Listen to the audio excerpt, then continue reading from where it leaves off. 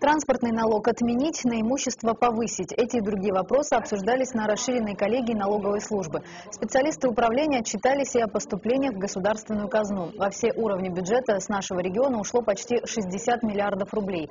При этом налоговики отметили снижение поступлений в федеральный бюджет, но окончательные выводы специалисты сделают по итогам полугодия.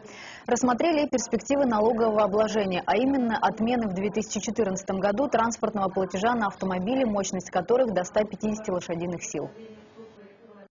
Мы предварительно оценивали вот эти потери, которые могут быть э, для бюджета, готовимся к этому, думаем, чем нам эти э, выпадающие доходы заместить. Ну, думаем, что совместно с налоговой службой мы найдем э, варианты, как нам выходить из этого положения.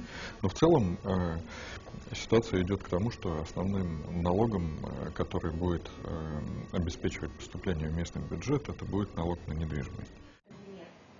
Сегодня горожане платят земельный налог и налог на имущество физических лиц. Два этих платежа предполагается заменить одним на недвижимость.